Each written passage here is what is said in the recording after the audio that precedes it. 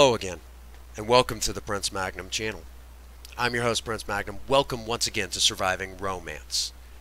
Uh, this is a special episode of Surviving Romance, and before we get underway, uh, let me give uh, two things.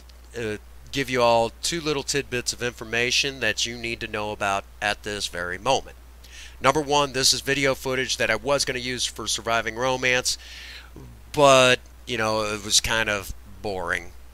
You know, uh, just didn't make a very good video, so this is just kind of filler. You know, while I narrate.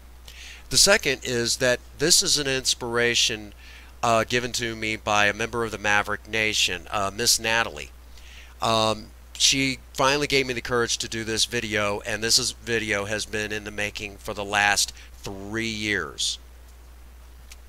So, Natalie, thank you again for giving me the courage to do this. Um, let me all tell you uh, up front that every man who has lived a little bit of a, a life um, has two stories in his love life. He has the story about the woman that got away, and he has a story about the woman that broke his heart. Well, I am no exception to this rule. I have this is the story about the woman that broke my heart. This is not her fault.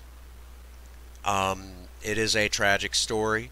So I will give a warning if you're one of those sensitive types that cries real easy and you don't like to cry, I'll understand if you stop the video right now. All right, let's go back in time to the year 2005 2006. It's been a moment.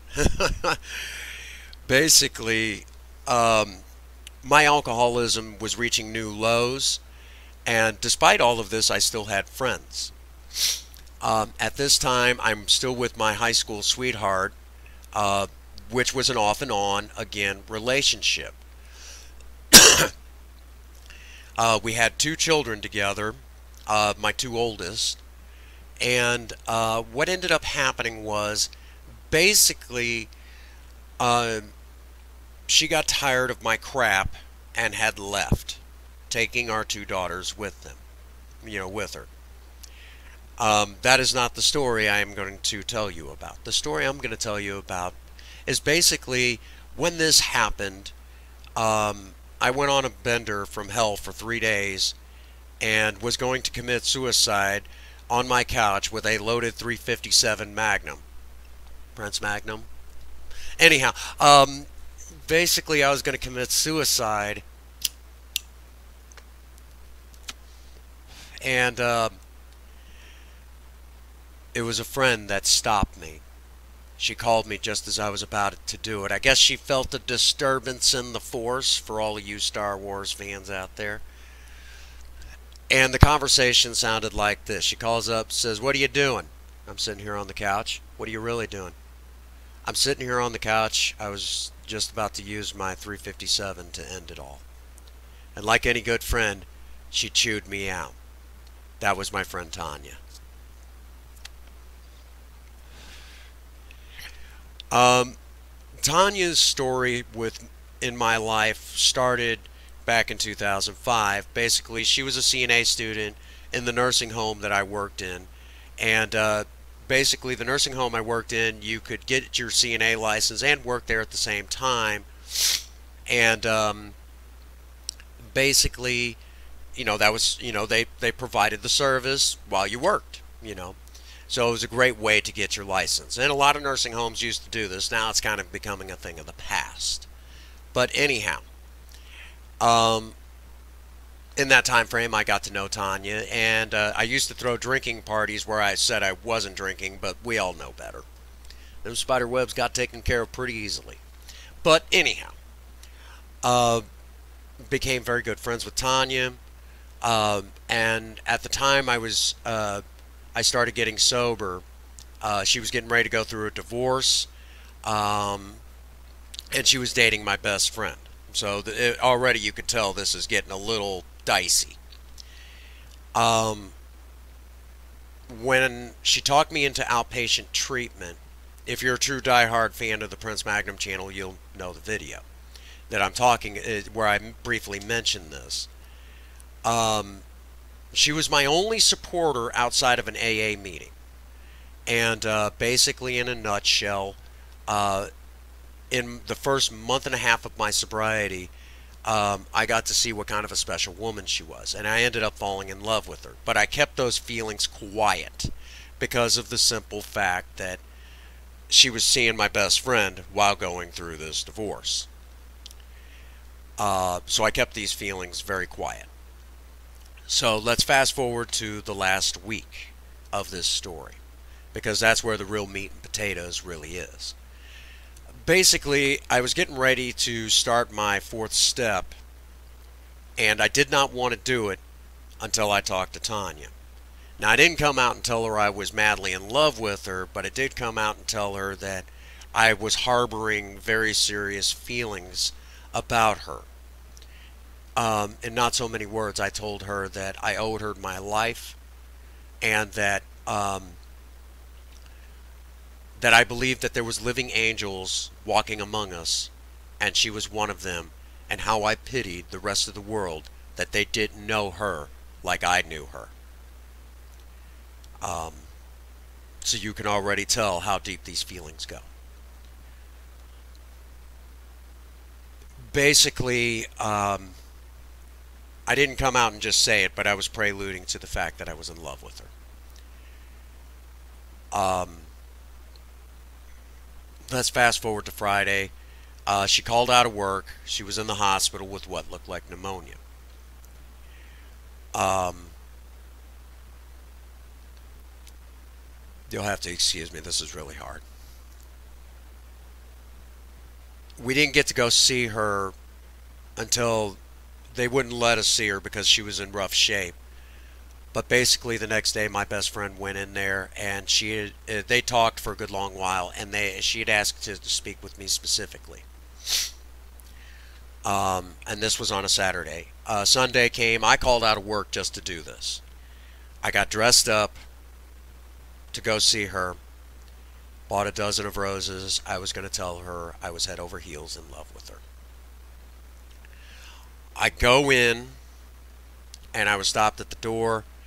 Evidently she had died twice and they brought her back and she was in a coma at this moment.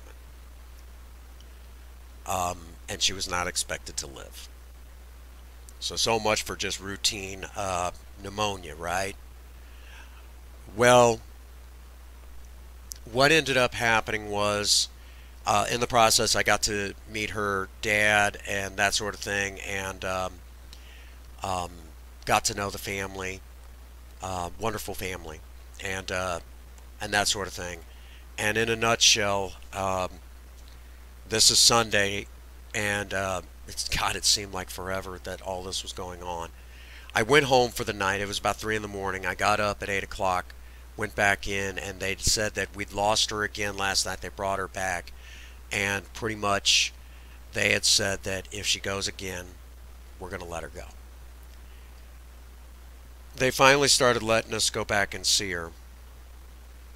And uh, her dad had basically said that he was encouraging all of us that if she, you know, to tell her if if she wanted to go, she could. Uh, that it was okay, that we would be all right. So basically, my best friend that she had been dating, uh, another one of us friends, and myself went in, sat down with her, and I held her hand,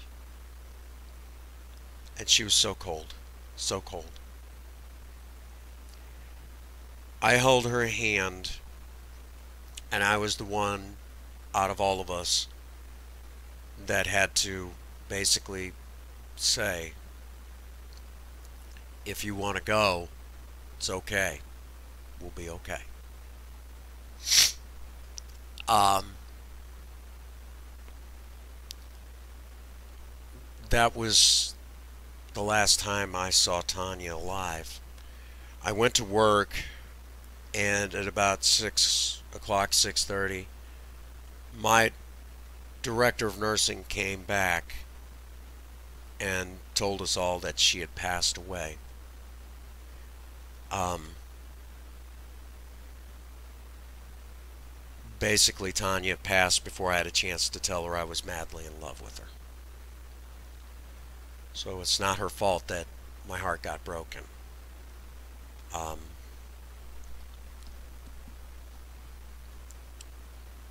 I did the whole funeral thing and uh, managed to get through that whole ordeal, stayed sober. Um, many, many have came and went, and uh, when my wife heard this story, um, she she burst into tears and um, she couldn't believe it. You know, this is like something you would hear in a movie. Um, you know, this it's like I've had I've had people tell me that this would make one hell of a movie. Um, basically, um,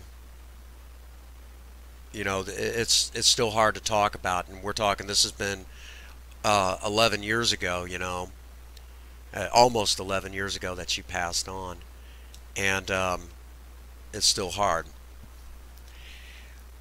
Um, but I will tell you that my wife, uh, Princess Faye, never feels any jealousy over this.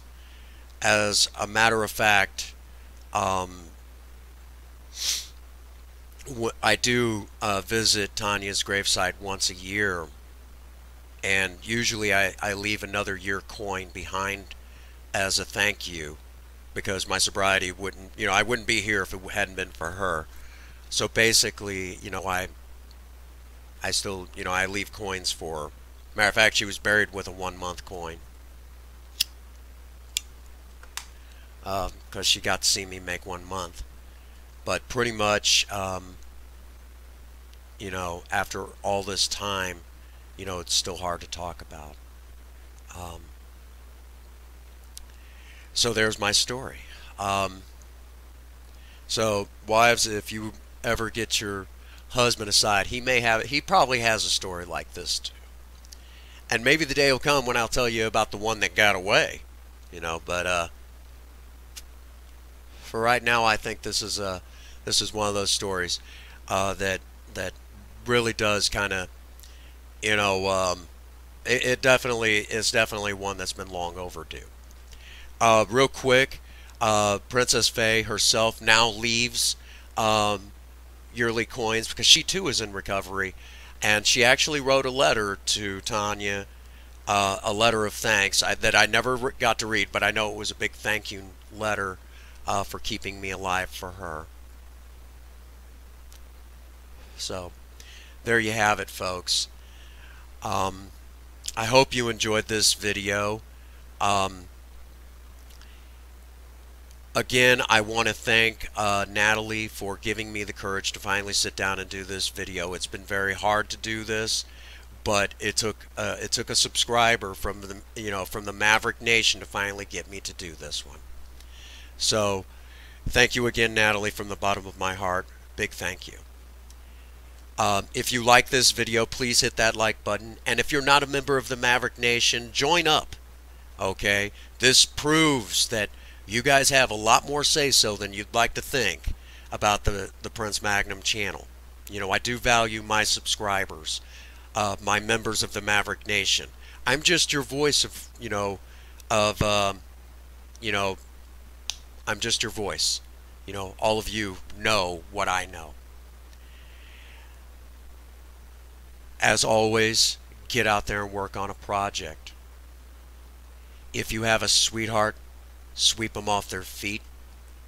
And as always, for all of you out there, and to the woman I never got to tell that I was in love with, if nobody has told any of you that they love you today, Prince Magnum does.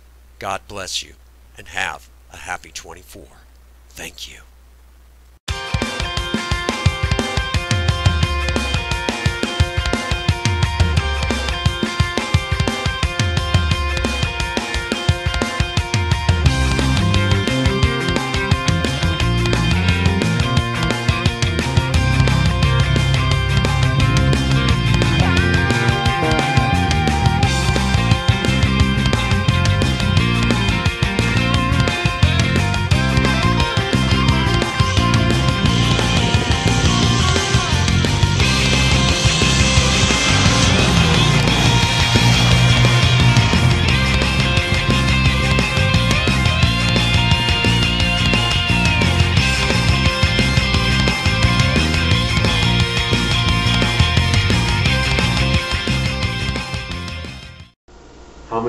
Do you think I'd I'd save? The Prince Random channel rocks.